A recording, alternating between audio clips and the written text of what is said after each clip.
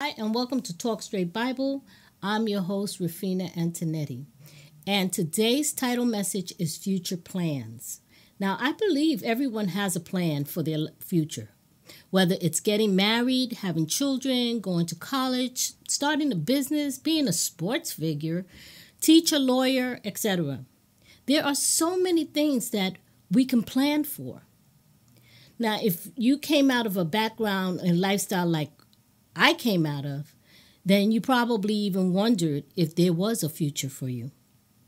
I know one day I was so depressed over what I was doing and the people I was hurting that I turned to God and said, Please don't let me die in this condition. Don't let my family hear that they found my body somewhere. Don't let me die in shame.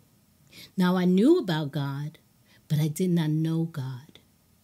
But He knew me.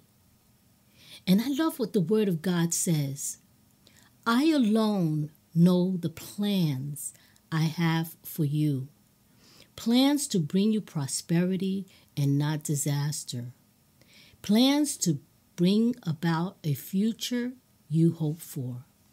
Now, when we see the word prosper or prosperity, what is the first thing that we think of? Right, money, riches, fortune.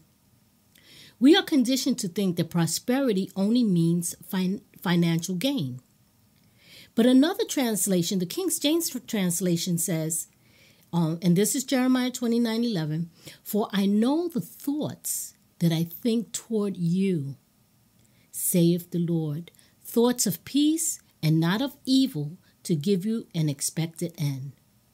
So in this verse of scripture, the word prosperity is peace, shalom, well, happy, welfare, your health and mental health, rest. So God is more concerned with us having peace in our future than money. Why? Because he says in Matthew 6:32, for the pagans run after all these things, and your heavenly Father knows that you need them. What things? Food, drink, clothes, cars, houses, money. But he says, don't be anxious about these things, but seek ye first the kingdom of God and his righteousness, and all these things shall be added unto you. So on my computer desktop, I have this scripture written, this particular scripture. And around it, I have pictures of my plans and desires a new car, a new home, a new studio, how to learn animation, my Mary Kay business, my life insurance business. But before all these things stands a picture of a big Bible. Because to have any of these things and don't have the peace of God's word in my life, it means absolutely nothing.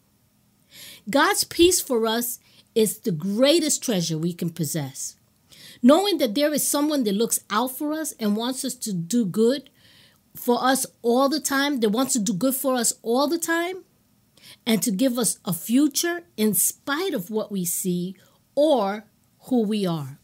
A future not only the one that He has set aside for us, but also when we delight ourselves in Him, He gives us the desires of our heart. But what should the desires of our heart be? It should be whatever He desires for us, right? Let your will be done, not my will, Lord. So to get there, I have to believe more and trust more. Is this difficult? Absolutely. Because things and people that I can actually see and hear can cause so much pain and even the leadership of this country has make, made us even wonder what is in our future. Do we even have a future? What kind of future are we going for here? And people closest to you can discourage and disappoint you.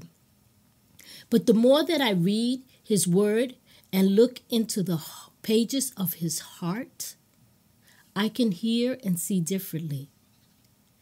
The Bible says in Isaiah 10:21, whether you turn to the right or to the left, your ears will hear a voice behind you saying, This is the way, walk in it.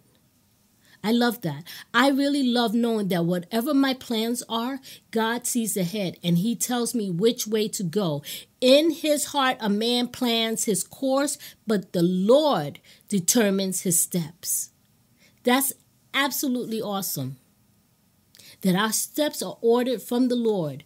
All we have to do is listen and wait. Listen to what? Well, God's voice, of course. We need to stop expecting God to speak in this booming voice because He can speak to us in a still small voice, but it will be the biggest you have ever heard if you're listening.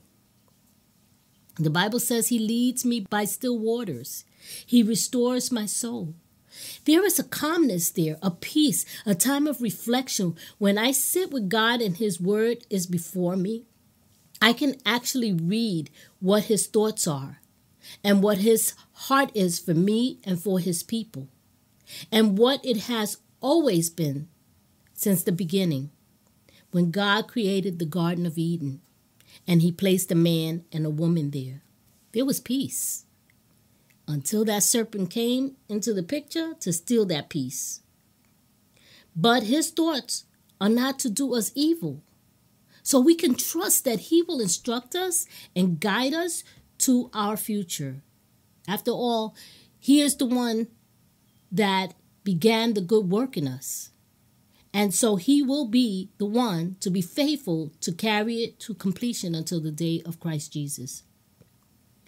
Although we may see evil and that dirty serpent crawling around us to see who he can devour, and when he's out there trying to rob and steal and destroy our peace, we can still have that Garden of Eden experience every day.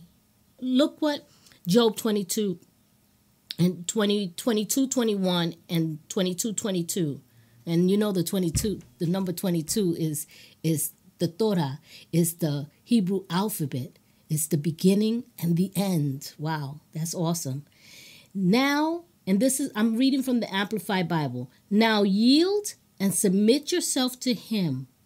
Agree with God and be conformed to His will and be at peace. In this way, you will prosper and great good will come to you. And please receive the law and instruction from his mouth and establish his words in your heart and keep them. So listen to his commands and, and, and, and obey his precepts. Embrace his truth and don't forget it. Let it abide with you and let it influence your secret feelings and the purposes of your soul. In him, there is a plan. In him, there is a future. God bless. Until we meet again, shalom.